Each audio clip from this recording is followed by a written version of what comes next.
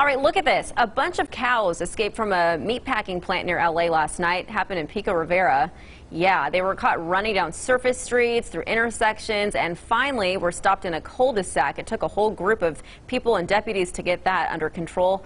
One person, unfortunately, was trampled by the herd. That person was taken to the hospital, but thankfully uh, those cows are all right otherwise.